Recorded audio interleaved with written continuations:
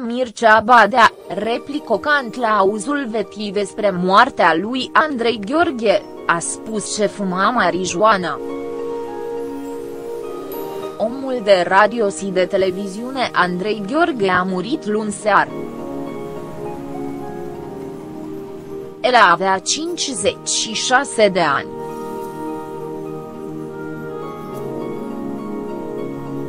Mircea Badea, una dintre vedetele care nu au avut o perere deloc bun despre Andrei Gheorghe, a avut o replicocant, luni seara, la Antena 3, când Mihai Gâdea i-a spus ce fostul lor coleg a încetat din via. Nu am fost amic cu el.